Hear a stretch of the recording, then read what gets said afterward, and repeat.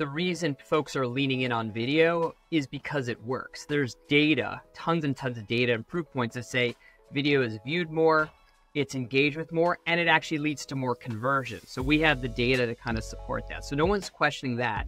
The challenge historically has been how do we make that easy scalable and compliant for organizations to embrace, you know, using this. So that's something that we've been really leaning in on with organizations, say in the financial services sector, the pharmaceutical sector, the insurance industry, all which are very highly regulated industries, but still have a massive need to communicate with their customer base. Where we're starting to see really, really exciting adoption around this is in the financial services space, and both on the institutional investor side as well as kind of the retail investor side. So on the institutional investor side, we're starting to see research departments within large financial services orgs lean in on short form video to supplement research reports.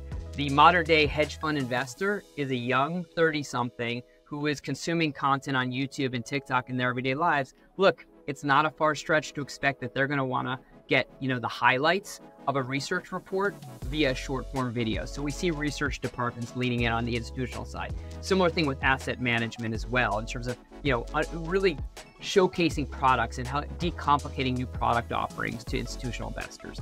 On the retail investor side, it's early days, but we are seeing wealth management firms starting to explore and find success in you know the agents themselves, the the, the actual advisors creating content. Some of that is really a, a, more personalized nature. Some of that is taking content that's produced at the firm level and being able to personalize in and around that content. But it gives a way to touch your client base, you know, monthly uh, or more frequently than the once or twice a year that you have an in-person or a virtual Zoom conversation. There is an expectation these days that you as an organization and you as an individual continue to deliver thought leadership content in an ongoing manner.